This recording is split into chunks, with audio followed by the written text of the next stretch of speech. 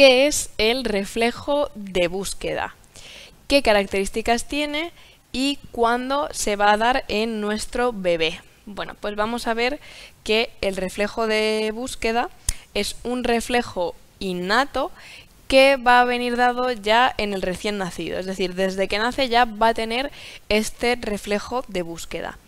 Y lo que sí que vamos a ver es que este reflejo va a desaparecer cuando el bebé cumple los 3-4 meses de edad aproximadamente.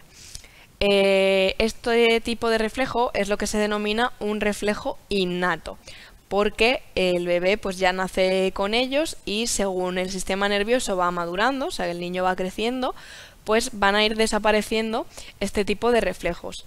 Este de búsqueda es uno, pero tenemos muchos otros, como por ejemplo el reflejo de prensión, de cuando eh, les damos el dedo y el niño siempre pues nos va a apretar el dedo, o por ejemplo el reflejo de marcha automática, cuando ponemos al bebé eh, con los pies apoyados en una superficie y el bebé parece que quiere caminar, pues todos estos reflejos son estos reflejos innatos que también es muy importante evaluarlos porque eh, debemos tener presentes que el recién nacido pues tiene que tener estos reflejos porque si no eh, podría ser signo de que hay algún tipo de daño a nivel de sistema nervioso.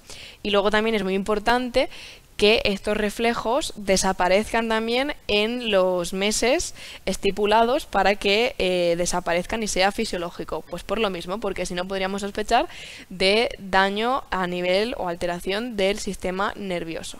¿Vale? Entonces, este reflejo de búsqueda, el estímulo que se le va a dar para que el bebé tenga este reflejo es que eh, le vamos a estimular por la zona de la mejilla o muy cercana a los labios y entonces el bebé lo que va a hacer es eh, acercar y mover los labios y la lengua hacia el estímulo, como buscando la comida, y también la cabeza, ¿vale? Al final esto es un tipo de reflejo, pues que va a ser de alimentación, ¿no? Pues el de notar un estímulo cerca de la boca y querer ir a comprobar qué es o a ver si puede ser alimento. Entonces ahora simplemente vemos una imagen para acabar de quedarnos un poco con la idea de qué sería este reflejo de búsqueda.